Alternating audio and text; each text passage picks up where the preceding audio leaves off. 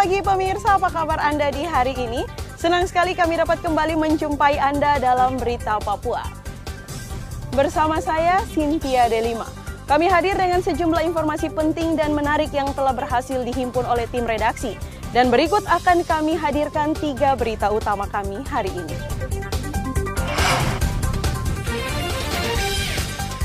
Ratusan pendukung Bupati Mambramo Tengah berunjuk rasa menolak KPK hadir di Mamteng.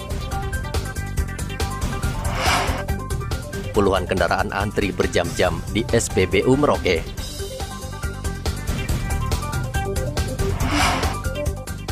Gelar operasi patuh tahun 2022, polisi tilang ratusan kendaraan di sejumlah kabupaten.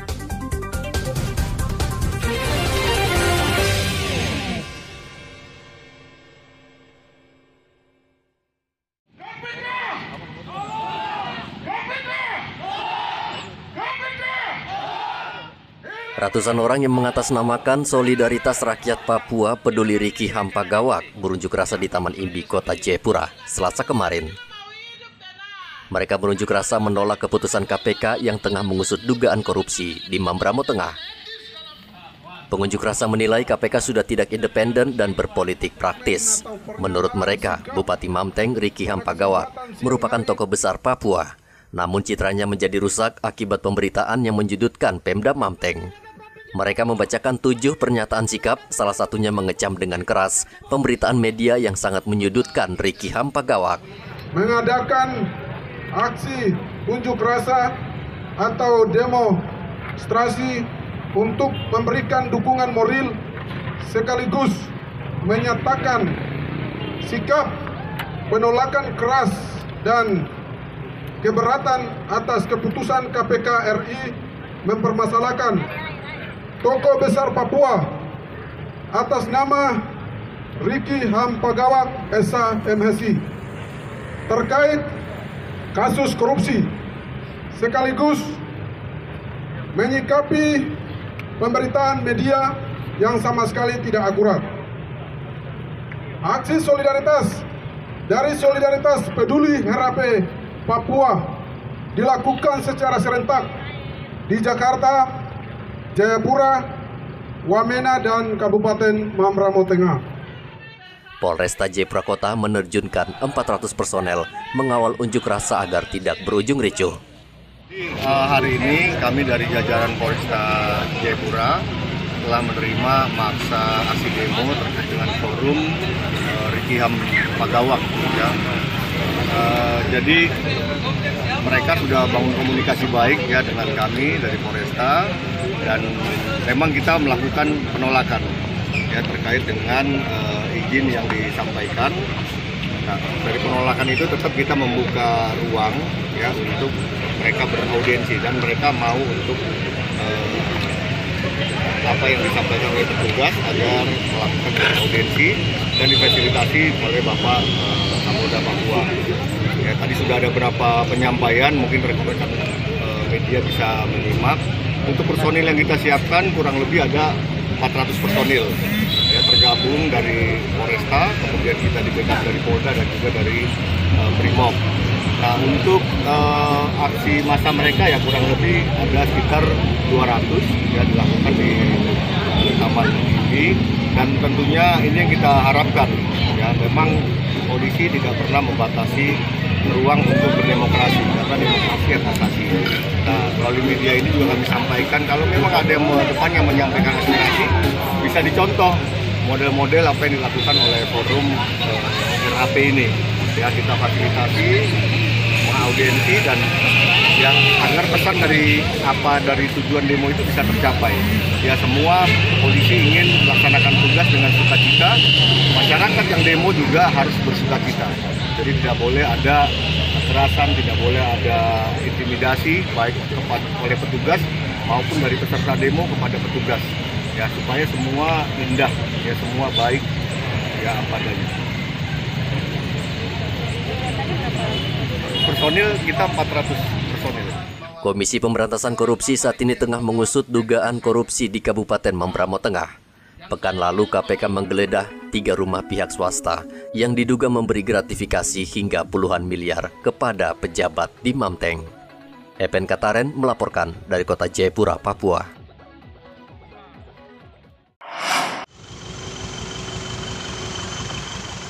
Pemandangan seperti ini bukan hal baru. Antrean kendaraan truk mengular sepanjang Jalan Ahmad Yani dan Jalan Marta Dinata Merauke hanya untuk mendapatkan BBM di SPBU.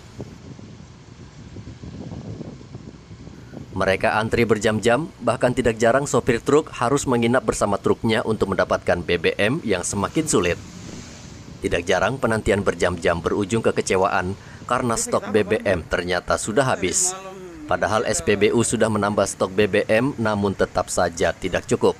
Untuk uh, pasokan dari Pertamina untuk di SPBU Ahmad Yani ini. Ya kalau pasokan dari Pertamina tiap hari memang ada tambahan. Hmm. Tapi yang dari sana sesuai dengan permintaan dari sini hmm. karena dipakai jatah begitu. Oh, jatah, ya. Nah, biasa satu harinya biasa berapa?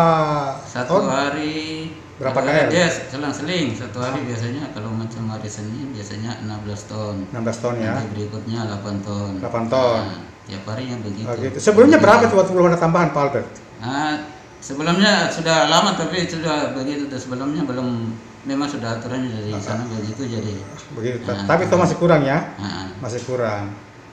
Ini sampai jam berapa biasa kalau? Kalau dapatnya satu hari 8 ton, paling kalau kendaraan kurang sekitar jam tiga atau setengah tiga. Hmm, tapi kalau banyak seperti nah, ini? Kalau macam satu hari dapat dua atau ada dua hari enam belas, biasanya sampai jam lima atau setengah enam. Oh, gitu ya. Nah. Jadi yang belum dapat pasti parkir lagi ya? Iya. Nah, kalau dapat memang kalau biasanya sekarang kita sistemnya sistem digitalisasi hmm. per tangki sesuai dengan plat ikut plat mobilnya. Oh begitu. Nah, kalau plat mobilnya tracknya itu 60 liter. Hmm. Nah, kalau untuk Hilux yang plat hitam dapatnya 20. Oh jadi dijata nah, gitu ya? Nah, oh, gitu. Nah, yang plat kuning 30. Hmm. Nah itu per hari. Per hari ya. Setiap hari 6 hingga 8 ribu liter BBM dipasok di SPBU ini dan setiap kendaraan mendapat jatah tertentu. Pemandangan seperti ini akan terus terjadi di banyak SPBU di Merauke selama pasokan BBM masih tersendat. Muhammad Ridwan melaporkan dari Merauke, Papua. Polisi memastikan jumlah pelaku yang diduga mengonsumsi narkoba di lapas Merauke akan bertambah seiring pengembangan kasus yang terus dilakukan penyidik. Polisi tengah memeriksa lima narapidana yang diduga sebagai pengedar narkoba di dalam lapas. Kapolres Merauke AKBP Untung Sangaji mengatakan pihaknya akan menyelidiki terus kasus itu untuk membongkar sindikat yang lebih luas. Identifikasi tersangka yang lain dan kemudian kita kembangkan sayap teknologi kita ini mengkait dengan salah satu di lapas. Dan kemudian malam itu juga kita membuka sistem. Lalu kita tangkap yang lain dan akhirnya yang di luar juga kita kejar untuk cegah dini agar ini tidak terjadi hal-hal yang kita inginkan Ayah bunda, sudah kita kembangkan dalam proses teknologi kita itu. provinsi Yayasan Kenapa? Bayangkari dan mendapat juara tiga. Oplos untuk Kalau mereka PPS diganggu oleh narkoba dan kemudian menjadi hal yang luar biasa bagaimana? Ini yang saya tidak mau. Yang tahun lalu kan mereka sudah menyiapkan 450 senjata tajam. Panah-panah celurit dan golok di dalam serta 15 handphone. Nah kali ini akan kita buat lebih akurasi lagi dengan tidak mau saya sebutkan sekarang. Sementara lima narapidana itu dia di mana sekarang Sudah Pak? kita amankan, kita kembangkan dan data-data sudah kita kumpul untuk pengembangan lebih lanjut. Berarti masih bisa diduga masih ada penambahan? Masih ada lagi. Saya akan lakukan kegiatan yang tidak bisa saya sampaikan di sini. Itu rahasia saya. Pak, untuk lima itu sudah lama? Ya, dan mereka ini juga penjual di dalam.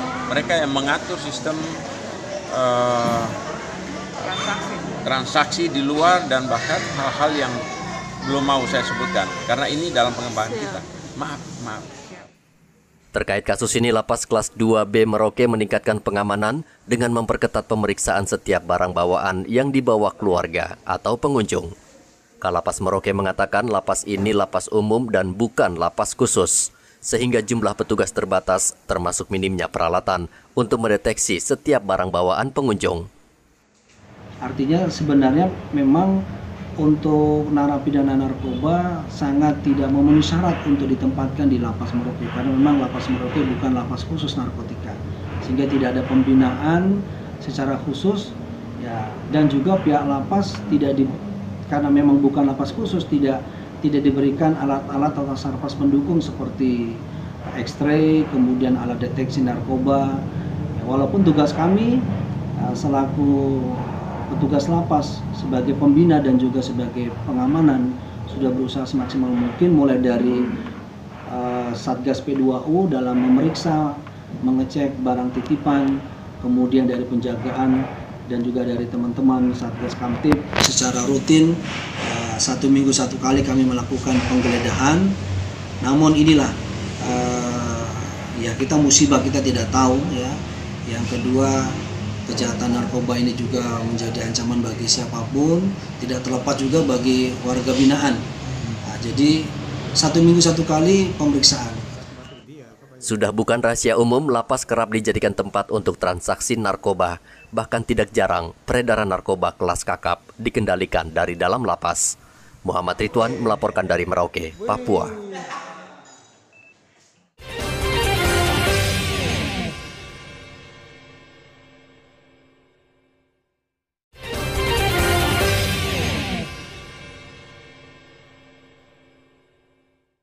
Pemirsa, terima kasih Anda masih menyaksikan Berita Papua.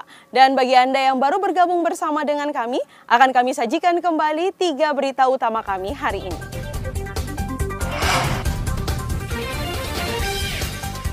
Ratusan pendukung Bupati Mambramo Tengah berunjuk rasa menolak KPK hadir di Mamteng.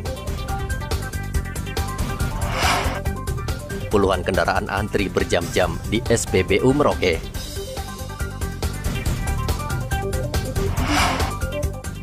Gelar operasi patuh tahun 2022, polisi tilang ratusan kendaraan di sejumlah kabupaten.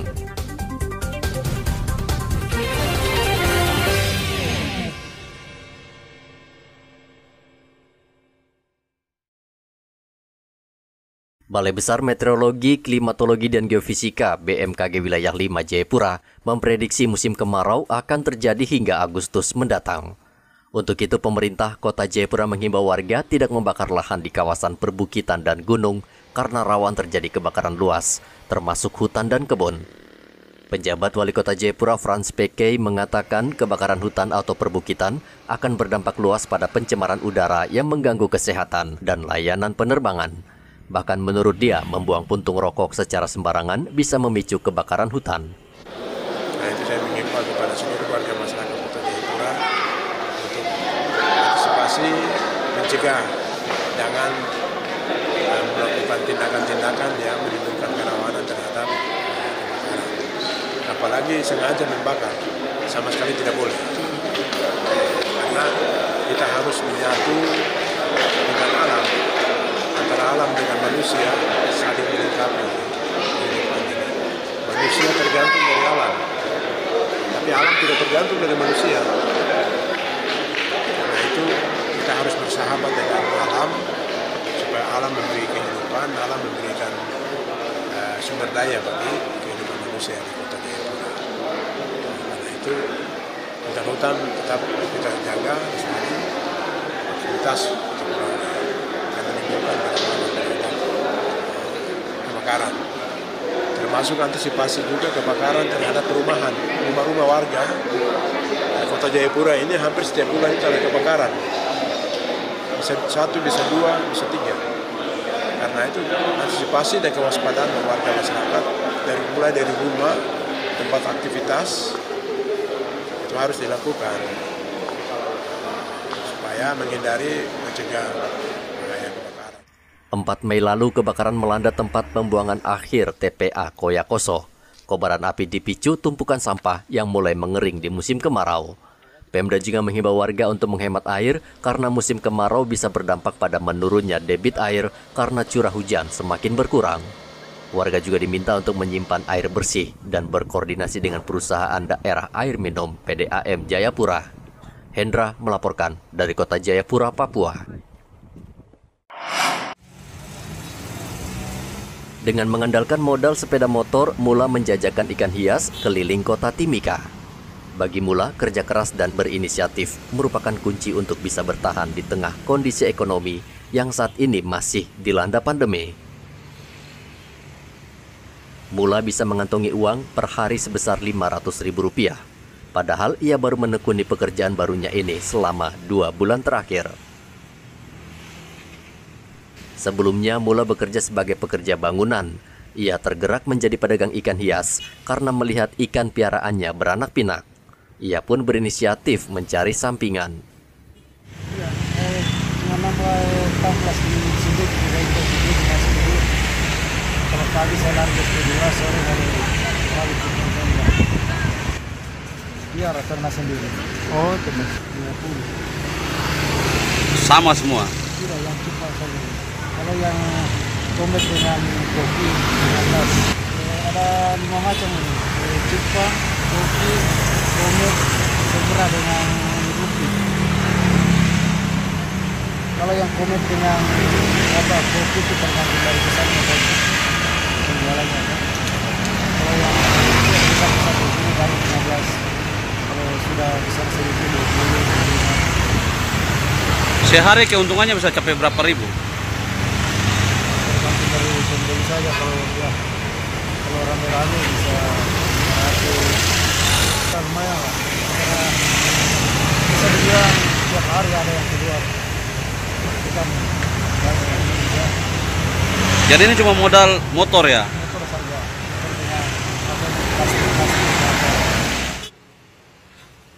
Mula menjual lima jenis ikan hias dengan harga yang berbeda-beda. Ikan cupang misalnya dijual seharga Rp20.000 per ekor, sementara ikan mas koki dijual seharga Rp25.000 per ekor. Harga ikan yang dijual Mula tergolong murah dibanding penjual yang biasa mangkal secara tetap, sehingga tidak mengherankan ia bisa mendapatkan untung lumayan besar. Dari Mimika Papua, Igobat Momolin melaporkan.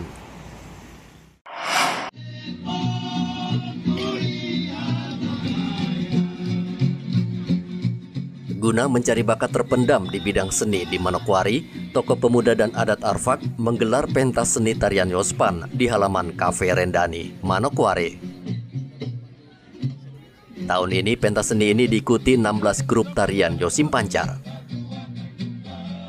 Selain mencari para penari berbakat, pentas seni juga untuk memasyarakatkan budaya tarian asli Papua kepada generasi milenial. Kepala suku Manawir Petrus Makbon memberikan apresiasi kepada tokoh intelektual Arfak yang berinisiatif mendukung pentas tarian seni Yosim Pancar.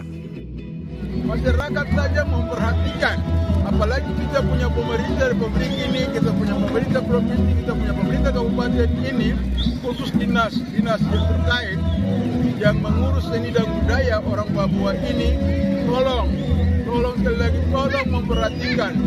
Jangan kita punya dana besar hanya dipakai untuk kepentingan-kepentingan lain. Lebih baik mari kita lakukan itu untuk kepentingan anak-anak Papua generasi Papua yang hari ini mereka bingung mau ke mana. Mereka punya seni mereka punya seni bakat masing-masing.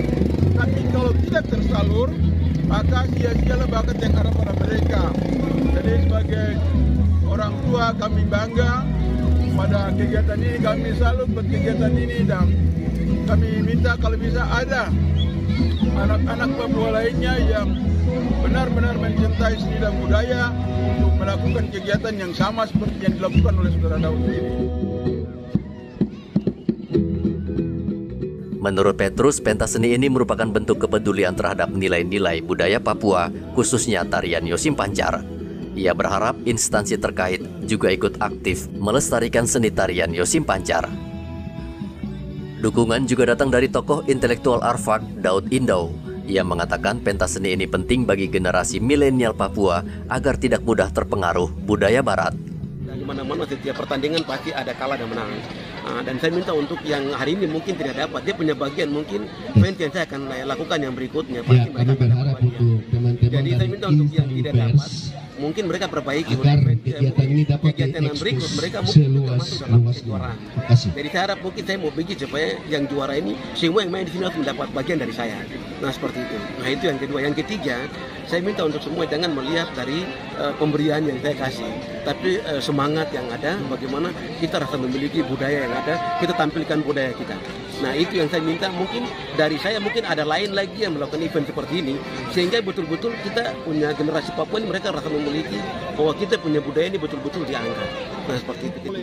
Seni tari Yosim Pancar merupakan tarian khas Papua yang sudah jarang dipentaskan, khususnya oleh generasi muda di Manokwari.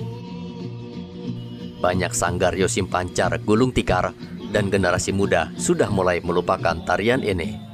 Edi Musahidin melaporkan dari Manokwari, Papua Barat. Pemirsa, berita yang baru saja Anda saksikan sekaligus menjadi penutup jumpa kita dalam Berita Papua hari ini. Bersama kru yang bertugas, saya Cynthia Delima mengucapkan terima kasih atas perhatian Anda. Kami pamit undur diri, selamat pagi, semangat pagi, Wanyambe.